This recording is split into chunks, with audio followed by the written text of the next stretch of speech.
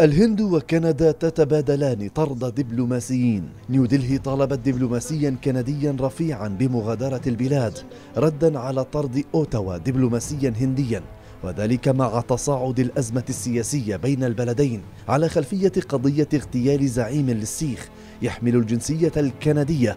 قتل في حزيران يونيو الماضي قرب فانكوفر غرب كندا. وزارة الخارجية الهندية أصدرت بيانا رفضت فيه الاتهامات التي وجهتها إليها الحكومة الكندية بالضلوع في عملية الاغتيال ووصفت الاتهامات بالعبثية وذات دوافع المزاعم المتعلقة بتورط الحكومة الهندية بأي عمل عنف في كندا هي عبثية وذات دوافع. نحن دولة ديمقراطية لديها التزام قوي بسيادة القانون.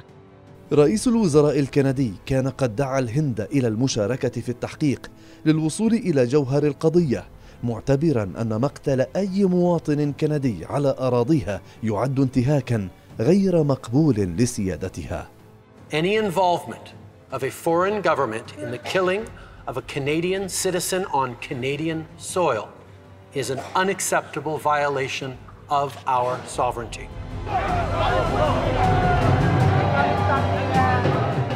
نيجار كان رئيسا لمعبد سيخي ومن دعاة إنشاء دولة مستقلة للسيخ باسم خالستان وكان مطلوبا لدى السلطات الهندية بتهمة الضلوع في أعمال إرهابية وهو ما نفاه على الدوام.